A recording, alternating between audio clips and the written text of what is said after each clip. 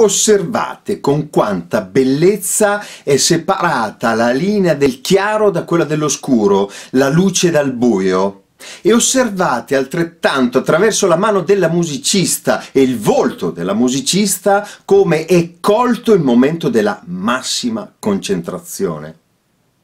Emanuele Vergari, questo artista che stiamo eh, presentando, già vincitore della sezione di fotografia del premio Arte Salerno 2016, è un artista che attraverso Prince Art Gallery Casa d'Aste sta trovando il suo mercato e trova la sua dimensione nel panorama nazionale e internazionale eh, del mercato dell'arte. Con quest'opera Emanuele Vergari, un artista eclettico, avremo modo di parlarne, eh, un artista artista che ha ehm, per esempio realizzato una copertina eh, di un volume musicale di Ligabue che ha realizzato più di 600 pubblicazioni sulla rivista Jazzit ma queste sono solo alcune delle tante notizie intorno a questo artista che anche lui attraverso Prince Art Gallery Casa d'Aste verrà battuto